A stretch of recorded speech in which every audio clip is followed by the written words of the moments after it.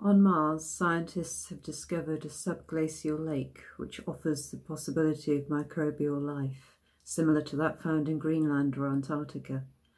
On Venus, scientists have detected patterns of absorbance that suggest microorganisms might be discovered in the clouds above the planet.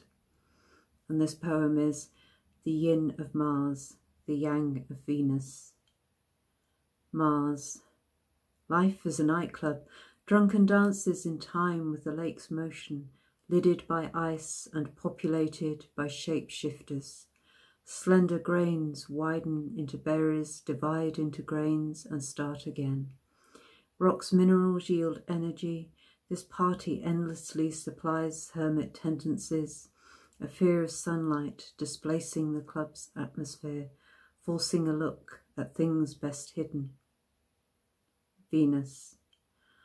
Life is summer picnics where pastels cover mud, dances in unstained white, cool translucent fruits, a busyness of perfection. To live on air is to keep moving even in sleep.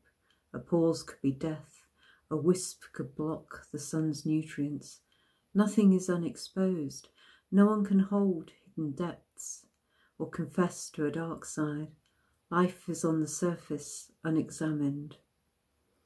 Both dream of the other, wonder if a marriage might be possible, a planet that allows the sea dancers and airborne to dwell on the surface, experience light and dark.